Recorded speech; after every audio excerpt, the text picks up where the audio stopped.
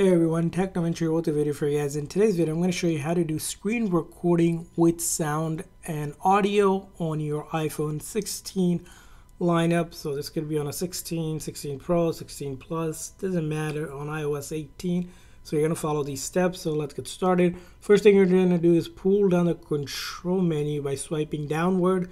And once you get to this menu, you see a plus icon on the left hand corner. You're going to tap on that and then we're going to go ahead and add a control. So if I tap on that add a control, we're going to look for this option that allows us to do screen recording that's listed here. We can also search for it up here.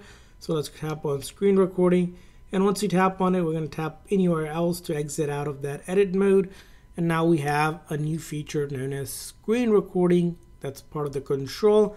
And what you're going to do is press and hold until you see a menu pop up well, that gives you the option to turn on the mic. If you just simply press on it, it's going to try to start recording. We don't want that. We're going to press and hold and then turn on the mic if you want audio sound with it.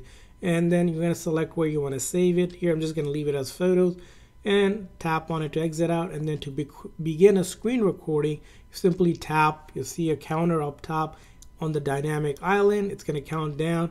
And then once it starts blinking red like that, it's recording now. Anything that we're doing on our screen. In order to stop the screen recording, simply tap up here, tap on stop, and it will be automatically saved to the Photos app.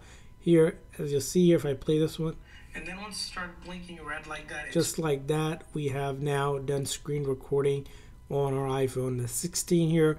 I hope this video was helpful. If so, please consider a like and subscribe button for more tips and tricks for your iPhone and other iOS devices. We'll see you guys next time.